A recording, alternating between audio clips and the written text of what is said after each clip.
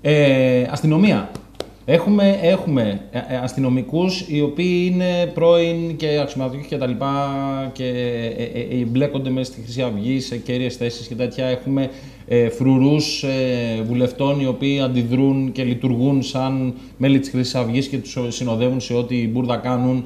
Έχουμε αστυνομικούς που συλλαμβάνονται με όπλα που δεν είναι καταγεγραμμένα και ε, υπάρχουν μαρτυρίες ότι βρίσκονται σε σημεία που δεν θα έπρεπε να είναι και έχουμε ένα τέτοιο πράγμα. Έχουμε αστυνομικούς οι οποίοι απαλλάσσονται με το βούλευμα του Γιάκου. Εντάξει. Ε, τι γίνεται εκεί; Έχουμε έρευνα που υπάρχει και η έρευνα αυτή έβγαλε μόνο 10 αστυνομικούς να σχετίζονται. Ε, έχουμε τους μισούς να ψηφίζουν Χρυσή Αυγή. Ε, όλα αυτά δεν ταιριάζουν μεταξύ τους. Τι, τι συμβαίνει εκεί; Καταρχήν να ξεκινήσουμε από αυτό το πράγμα το οποίο είπες σε σχέση με την εισαγγελική πρόταση του Γιάκου. Ένα από τα πάρα πολύ χαρακτηριστικά που κάνει η εισαγγελική πρόταση του Γιάκου είναι ότι ε, ξεπλένει μία σειρά από αστυνομικούς οι οποίοι εμφανιζόντουσαν διασυνδεδεμένοι με τη Χρυσή Αυγή.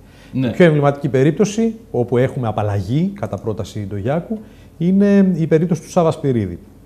Του αστυνομικού στη Ρόδο που συμμετείχε σε στρατιωτικά γυμνάσια της Χρυσής Αυγής. Ναι. Ο οποίος στην αρχή δηλώνει ότι δεν έχει καμία σχέση με τη Χρυσή Αυγή και αυτή τη στιγμή είναι εκλεγμένος περιφερειακός της σύμβουλος. Μάλιστα. Στις Στο- τελευταίες εκλογές. Ο Σπυρίδης, λοιπόν, ο οποίος στην αρχή έλεγε ότι εγώ βγήκα μια, φίλη, μια, βγήκα, βγήκα μια βόλτα με τη φίλη μου και πέτυχα κάποιους χρυσαυγίτες και εκεί πέρα που κάνανε κάποια γυμνάσια είπα: Καθίστε ρε παιδιά, δεν το κάνετε καλά. Να σας το δείξω εγώ πώς το κάνουν καλύτερα. Αυτή ήταν η απολογητική γραμμή Ναι, ναι, του, ναι. α, του Σπυρίδη. Αυτή τη στιγμή απαλλάσσεται και θεωρείται ότι δεν έχει σχέση με την α, εγκληματική οργάνωση.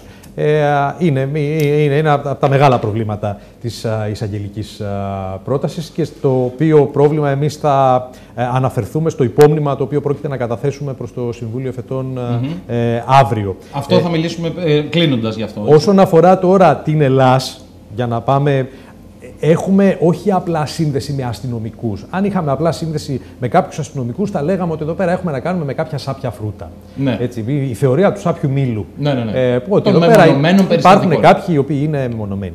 Στα βασικά σημεία δράσης της Χρυσής Αυγής έχουμε διασύνδεση του τοπικού πυρήνα της Χρυσής Αυγής με το αστυνομικό τμήμα.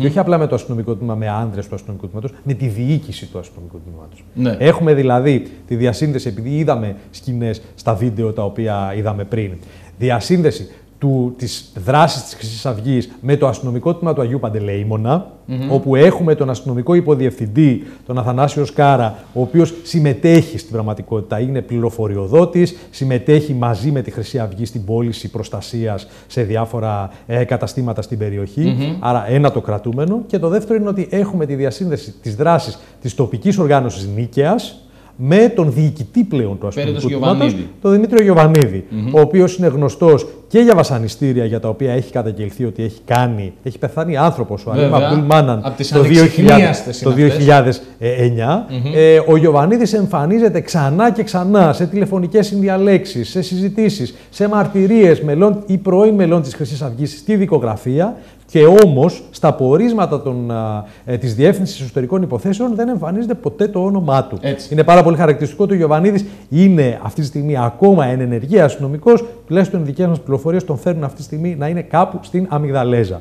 Ναι, Αυτή είναι, αποσπασμένος στην Αμυγδαλέζα μετά, την, ε, τη- ότι, μετά του περιστατικού που εξεμάνει με την καταδίκη πάλι. Με την, με την καταδίκη πάλι. Άρα έχουμε λοιπόν Γιατί μια. ήταν, Έτσι, έτσι. Άρα έχουμε λοιπόν μια εικόνα διοικητών αστυνομικών τμήματων η οποία ολοκληρώνεται μέσα από το ότι μετά την α, δολοφονία του Φίσα και μετά την α, απόφαση του Υπουργείου Προπό να κινηθεί κατά της Χρυσής Αυγής, έχουμε την παρέτηση υψηλόβαθμων στελεχών της ελλας Έχουμε για παράδειγμα την παρέτηση του Δικόπουλου που είναι εμβληματική. Ο Δικόπουλος ήταν υπεύθυνος της μισής αστυνομίας, της αστυνο... ολόκληρης της αστυνομίας της Νότιας Ελλάδας Μάλιστα. ο οποίος εμφανίζεται διασυνδεδεμένος με την εγκληματική οργάνωση Χρυσή Αυγή. Ε, έχουμε την παρέτηση στην- στην πραγματικότητα ενώ έδινε εντολή η κυβέρνηση να γίνει έρευνα στα γραφεία της Χρυσής Αυγής στη Χαλκίδα, ο Δικόπουλος και ο ε, αστυνομικός διευθυντής του τμήματος στη Χαλκίδα αρνιόντουσαν Να να, κάνουν την υλοποιήσουν την έρευνα που επέτασε ο πολιτικός προϊστάμενος. Έχουμε τέτοιες εικόνες δηλαδή, έτσι. Μάλιστα. Την ίδια εικόνα έχουμε και με την ΕΕΠ, όπου ο διευθυντής της, α, ε, τη- της τρίτης διεύθυνσης της αντικατασκοπίας της ΕΕΠ, ο α, Κούζηλος, Δήμος Κούζηλος εικάζεται ότι υπάρχει και κάποια συγγενική Συγγένεια με τον σχέση άλλο με τον, Κούζηλο. με τον Ναι. Κούζηλο, αναγκάζεται σε παρέτηση το απόγευμα, το πρωί, προείσταται σύσκεψης ε, για την αντιμετώπιση της Χρυσής Αυγής και το απόγευμα αναγκάζεται σε παρέτηση την προηγουμένη της σύλληψης των ηγετών της Χρυσής Αυγής. Μάλιστα. Και αυτό γιατί διαφωνεί, στην πραγματικότητα προσπαθεί να σταματήσει, είναι τα κομμάτια του κρατικού μηχανισμού τα οποία προσπαθούν να σταματήσουν την ποινική δίωξη, έτσι. Άρα έχουμε πολύ ψηλές διασυνδέσεις προκειμένου να μιλάμε για ε, το Σάπιο Μήλο, τον, α, τον τάδε αστυνομικό Αυτό. που μπορεί να ήταν διασυνδεδεμένος κτλ. Ή τα μεμονωμένα Ε, περιστατικά. δεν, είναι, δεν είμαστε στη σφαίρα του μεμονωμένου περιστατικού.